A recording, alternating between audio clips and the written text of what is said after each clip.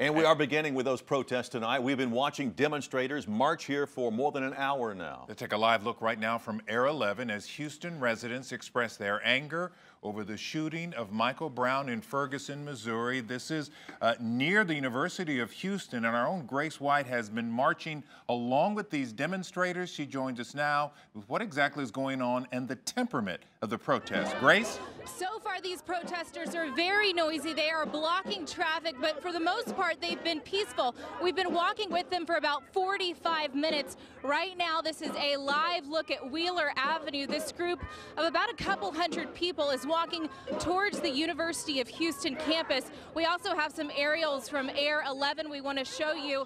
As you look at them, you can see this group has been blocking traffic several intersections in southwest Houston really for the past 45 minutes. This all started at McGregor Park with a peaceful protest in solidarity of Mike Brown, of Ferguson people rallying for justice, very upset and angry about the decision that was made last night.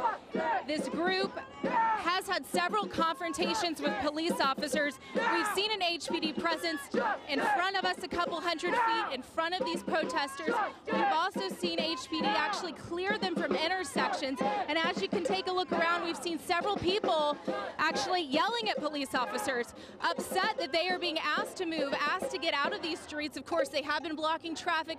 Again, for the most part, it's been very peaceful, but they are concerned, of course, with this being rush hour in Houston a lot of people uh, on the roads at this time. They're making sure that everybody, for the most part, has the chance to protest, but in a peaceful manner. As you can take a live look around, people have instruments, posters, they've made t-shirts supporting Mike Brown. Some people even told me they've seen and heard about this on social media and decided to come out here and be a part of it. Of course, we've met students from the University of Houston. We've met different community activists.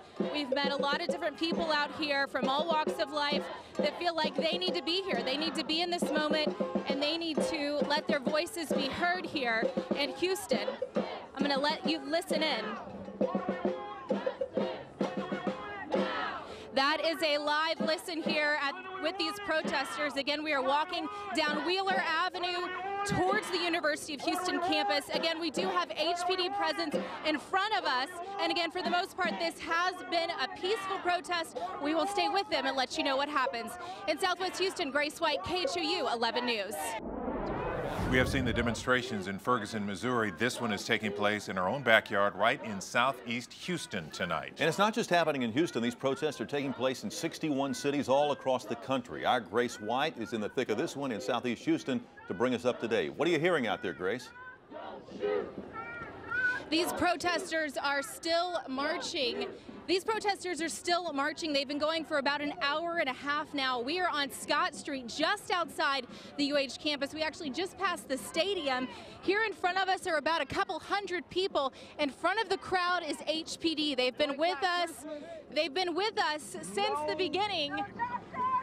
They've been with us since the beginning and are making sure that everything is a peaceful protest out here. We've seen a couple people talking to police officers, yelling at them, but so far, we are, uh, but so far this has been a peaceful protest. Live in Southwest Houston, Grace White, KHOU 11 News.